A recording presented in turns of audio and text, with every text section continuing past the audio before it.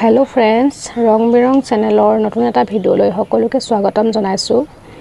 আজি মই এইবিধ প্লাণ্টৰ বিষয়ে আপোনালোকৰ লগত অকণমান শ্বেয়াৰ কৰিম বুলি আহিছোঁ।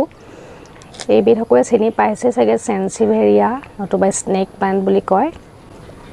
ইয়াৰ বহুতটা প্ৰজাতি আছে ওচৰতে চাৰিটা প্ৰজাতিয়েই আছে।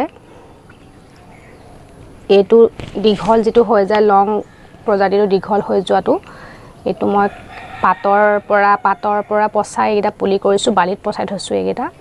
আৰু এইকেইটা পাতৰ পৰাই হোৱা এইটো চাপৰ প্ৰজাতি হয় পাতৰ পৰাই হোৱা হোৱাৰ পাছত মই ইয়াত বেলেগ মাটি মিশ্ৰণ কৰি সাৰ মাটি মিশ্ৰণ কৰি তাৰ ৰুই দিছোঁ। আৰু এইজোপাও ডৰ্ফ ভেৰাইটি হয় এইটো এইটো এটা পুলিয়ে হয় পুলি আনি ৰুইছোঁ। আৰু এইকেইটা নৰ্মেল ভেৰাইটিয়ে হয় চাৰিওপিনে পুলিৰে ভৰি গ'ল।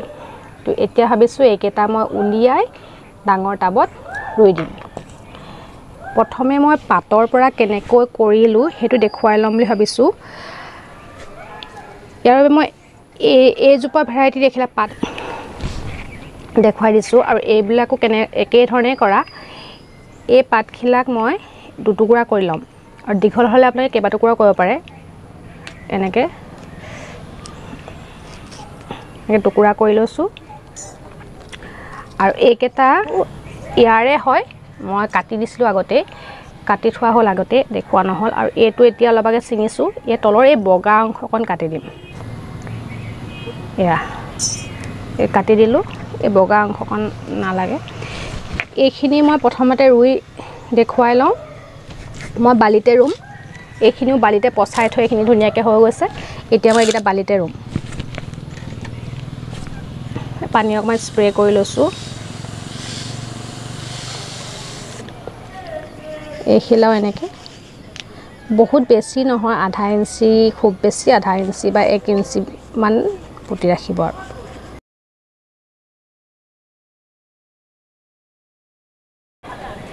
এনেকৈ ৰাখি দিম। এনেকৈ ৰাখি খালি এইটো বহুত দিন লাগে পোখাবলৈ। এইটো কমেও তিনি চাৰি মাহমান লাগি যায়। এজোপা মোৰ তেনেকুৱাই হৈছে মোৰ তিনি চাৰি মাহ হোৱাৰ পাছতহে এইটো ৰূপ পাইছেগৈ। প্ৰথম পচোৱাৰ লগে লগে কেতিয়াও পুলি বা পোখ নোপোখায় বহুত টাইম লাগে শিপা প্ৰথমতে এই টুকুৰা পাতটোৰ পৰা এই টুকুৰা পাতটোৰ পৰা গুৰিত শিপা ওলাব। তাৰ পাছতহে ছাইডত এই পুলিবিলাক ওলাই আহে। ওপৰৰ ফালে নোলায় আকৌ তলৰ গুৰিৰ পৰাই ওলাব। এইটো এনেকৈ কৰি দিলোঁ হৈ গ'ল। আৰু এতিয়া দেখাইছোঁ মই এইটো উঠাই দেখাই দিছোঁ। এইটো দীঘল ভেৰাইটিটো হয়। এইটো টুকুৰা কৰিও এনেকৈ মই ৰাখিছিলোঁ। এয়া চাওক। প্ৰথমতে পাতখিলাৰ পৰা এনেকৈ শিপাবোৰ ওলাই আহে ওলাই আহি গুৰিৰ পৰা এনেকৈ পুলি ওলায়। সকলোখিনি মই দেখাই দিছোঁ। এইটো চব শিপা হৈ গৈছে দেখিছে? কিন্তু ইয়াত পুলি ওলোৱা নাই ওলাব আৰু। শিপা হৈ গ'ল ধুনীয়াকৈ ইয়াৰ চাইডৰ পৰা পুলি ওলাব। সেইকাৰণে মই এইটো নোৰো এতিয়া এটা আকৌ পুতি থৈ দিছোঁ।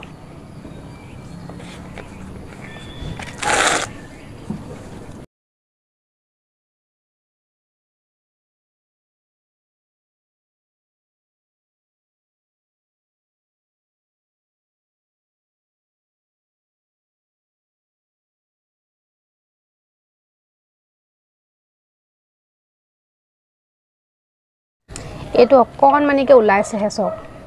এইটো মই এতিয়া ৰুই নিদিওঁ। এইটো আৰু অকণমান ডাঙৰ হওক তেতিয়া মই ৰুম এইটো ইয়াতে পুতি থৈ দিম আকৌ। এই সকলোবিলাকৰ এনেধৰণেই প্ৰপগেশ্যন কৰিব পাৰি। যেতিয়া টাবটো ভৰি যায় বহুত বেছি হৈ যায় তেতিয়া পুলিবোৰ আপোনালোকে ডিভিজন কৰি ৰুই দিব পাৰে। নতুবা এই পাতৰ পৰা এনেকৈ সহজে পোখা ওলাই পুলি উলিয়াব পাৰি।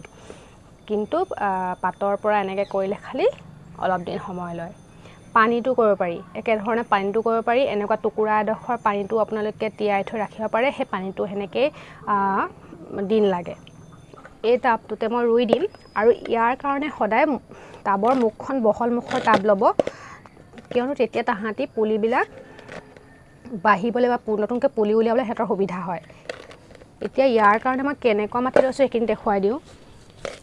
এইখিনি হ'ল নৰ্মেল মাটি। আৰু ইয়াত এইখিনি অলপমান পাৰলাইট মিক্স কৰাও আছিলে। মই টাব এটাৰ পৰা মাটি লৈ ল'লোঁ। মোৰ আগতে ব্যৱহাৰ হোৱা টাবৰ মাটি আছিলে। তাত অলপ পাৰলাইট মিক্স হৈ আছিলে বগা বগাখিনি। সেইখিনি একো নাই সেইখিনি দি দিছোঁ সেইকাৰণে। ইয়াত মাটি আছে এই টেমাটো জোখে। তিনি তিনিটা টেমা আছে ইয়াত। মই এই টাবটো জোখত লৈ লৈছোঁ আৰু ইয়াৰ ইয়াতো ৰুম এইটো জোখতো লৈ লৈছোঁ। যিমানখিনি জোৰে ল'ম নহ'লে পাছত বনাই ল'ম আকৌ। এইখিনি নৰ্মেল বাৰী মাটি। আৰু ইয়াত লৈছোঁ এই টেমাটোৰে আধা টেমা বালি। এইখিনি। আৰু লৈছোঁ আধা টেমা কক'পিট। আৰু আপোনালোকৰ এইখিনিতে কয় যে কক'পিট ইউজ কৰিলে সদায় দুই তিনিবাৰ ধুইহে ইউজ কৰিব। নহ'লে গছবিলাকত বা পুলিবিলাকত ফাংগাছ লগাৰ খুব সম্ভাৱনা থাকে। কক'পিট সদায় সদায় দুবাৰ বা তিনিবাৰ ধুইহে ইউজ কৰিব। আৰু ইয়াতে মই অকল ফাংগিচাইড এইখিনি গ্ৰীণ কালাৰ এইখিনি যে দেখিছে ফাংগিচাইড মিলাই দিছিলোঁ প্ৰায় আধা চামুচমান। এইখিনি মিক্স হৈ গ'ল দেখুওৱা নহ'ল মই দিয়া।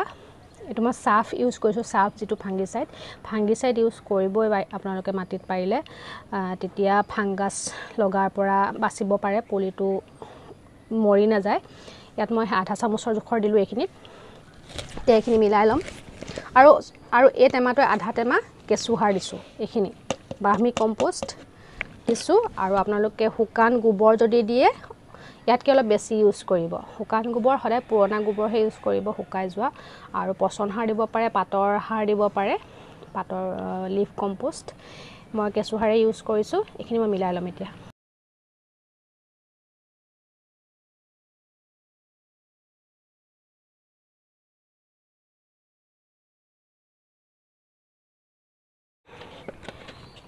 এইটো টাবত মই এইখিনি এনেকৈ আলু বস্তা এনেকৈ দি লৈছোঁ তাৰপাছত নাৰিকলৰ বাকলি শিলগুটি এনেকৈ দি লৈছোঁ। এনেকৈ। এতিয়া মাটি অলপ ভৰাই ল'ম।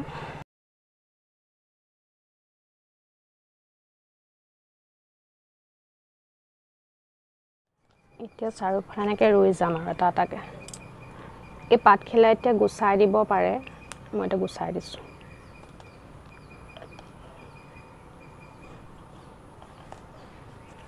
আৰু এই পুলিটো এনেকৈ ৰুই দিছোঁ পুলিবিলাক এই ওপৰৰ এই কোষটোৰ ঢাক খাই যোৱাকৈ মাটিবোৰ দি নিদিব। অকল গুৰিটো আৰু শিপাখিনি সেইখিনিয়ে যাতে ঢাক খাই থাকে।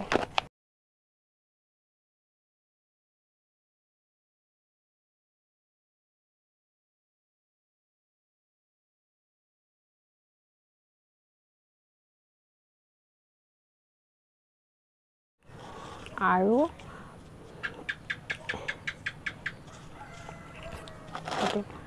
ইয়াত পানী বহুত বেছি দিব নালাগে মই অকণমান স্প্ৰেহে কৰি দিছোঁ পানী ঢালি নিদিওঁ।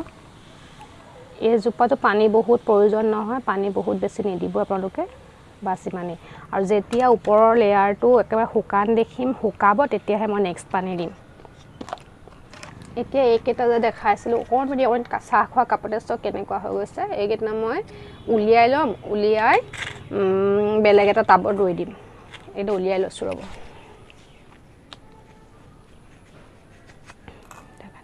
চাওকচোন গোটেই এয়া চাওক। টাবটোৰ শ্বেপ লৈ ল'লে শিপাখিনি আৰু গোটেই তললৈকে পোখালে। এনেকৈ থৈ দিলে আপোনালোকে সলনি কৰি দিব যেতিয়া ডাঙৰ ডাঙৰ টাব বা য'তেই থাকক এনেকৈ যেতিয়া ৰুট বাউণ্ড হৈ যাব তেতিয়া সলনি কৰি দিব। তাহাঁতি শিপাবিলাকে গছজোপাই কষ্ট পায় শিপাবিলাকে উশাহ নিশাহ ল'বলৈ কষ্ট পায়। আৰু এনেকৈ এইখিনিৰ পৰা আপোনালোকে পুলি বেলেগ বেলেগ কৰিব পাৰে। চাওক। এইটো মই এনেকৈ এৰুৱাই এৰুৱাই দিব। এয়া এইটো এটা এৰুৱাই এটা পুলি হৈ যাব এনেকৈ। পাঁচটা পুলি মোৰ হৈয়ে গ'ল। আৰু ইয়াতো তেনেকৈ কেইবাটাও আছে পুলি মই এনেকৈ এইখিনি উলিয়াই ল'ম এতিয়া।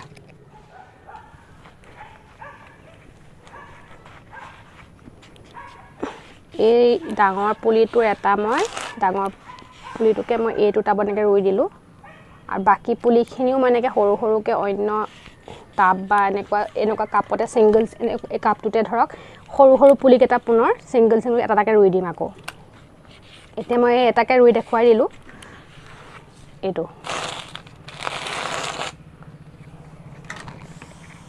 পানী মই স্প্ৰে কৰি দিছোঁ। মাটিখিনিও অলপ সেমেকিয়ে আছে যিহেতু বৰষুণ দি আছিলে। সেইকাৰণে বহুত বেছি পানী মই ঢালি নাই দিয়া।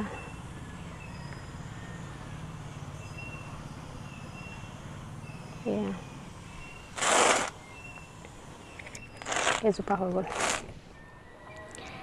এইকেইটা মোৰ ৰোৱা হৈ গ'ল ৰুই দিলোঁ।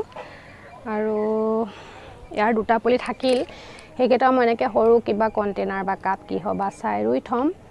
আৰু এইজোপা বাকী মাটি সাৰ সকলোখিনিতো ক'লোৱেই আপোনালোকে এইজোপা বহুত হাৰ্ডি প্লেণ্ট হয় কম লাইটতো সিহঁতি ধুনীয়াকৈ গ্ৰ'থ হৈ থাকে আৰু যদি একেবাৰে ভিতৰত বহুদিন থৈ দিয়ে একেবাৰে ইনড'ৰ কৰি ৰাখিছে যদি তেতিয়া সপ্তাহত পোন্ধৰ দিনৰ মূৰত বা মাহত এবাৰ হ'লেও বাহিৰৰ ব্ৰাইট পোহৰ সিহঁতক দেখুৱাব। আৰু ইয়াৰ কেয়াৰ মাটি পোহৰ এইখিনি বহুত বেছি কেয়াৰ নালাগে একেবাৰে সহজতে হয়। সহজতে ইহঁতক ৰাখিব পাৰি গ্ৰ' কৰাব পাৰি। আজিলৈ ভিডিঅ'টো ইমানতে সামৰিছোঁ। মোৰ ভিডিঅ'টো চাই যদি ভাল লাগিলে লাইক কৰিব কমেণ্ট কৰিব মোৰ চেনেলটো ছাবস্ক্ৰাইব কৰিব। তেন্তে আজিলৈ বাই বাই